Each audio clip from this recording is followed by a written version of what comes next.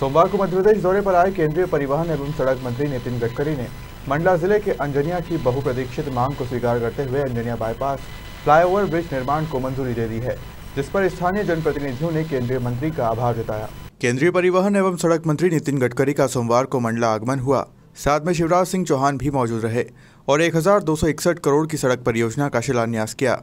वहीं Anjaniya national highway 30 पर आए दिन हो रही सड़क दुर्घटनाओं को देखते हुए क्षेत्रवासी और केंद्रीय मंत्री फग्गन सिंह कुलस्ते एवं जिला पंचायत उपाध्यक्ष कमलेश टेकाम की मांग को केंद्रीय मंत्री ने स्वीकार करते हुए अंजनिया बाईपास पर फ्लाईओवर ब्रिज निर्माण को स्वीकृति दे दी। अब जल्द फ्लाईओवर का ब्रिज बनेगा, जिससे अनचाही सड़क दुर्घटनाओं को टाला जा सकेगा। अंजैया में, अंजनिया में फ्लाईओवर की मांग की है।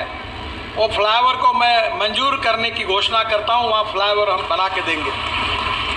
जो एनएच बनाने इस पिछड़े हुए क्षेत्र में जी, एक तो आश्वासन दिए हैं एक, अजनिया का, क्योंकि मैं उस क्षेत्र में पिछला चुनाव भी लड़ा था, विधानसभा, गोंडवाना गणतंत्र पार्टी से, और उस क्षेत्र से मेरा लगाव भी है, क्योंकि उस समय चुनाव के टाइम पे 2018 में, वोटिंग भी हुई थी और मैं बहुत जाता हूँ, चार साल से विगत आना जाना भी लगा हुआ है, और अभी वर्तमान में मैं उसी क्षेत्र से, जो हाईवे एन एच थर्टी में, वहीं से चुनाव जीत कर आया हूँ और अभी ज़िला पंचायत उपाध्यक्ष के पद पर हूँ।